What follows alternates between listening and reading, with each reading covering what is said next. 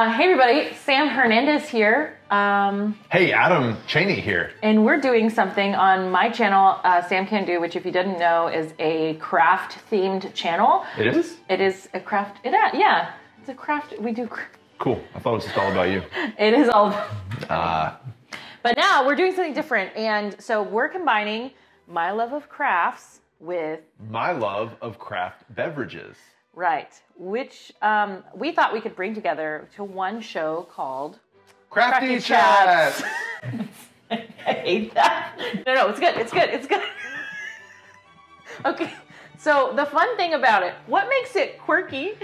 It's because I hate crafts. and I don't like I don't like craft beverage. I like a beverage, but I don't like We're going to find out what Sam doesn't like yeah, and so we're gonna enjoy a craft beverage or two and make a craft. and make a craft. Um, all of the crafts that we make will be available for sale.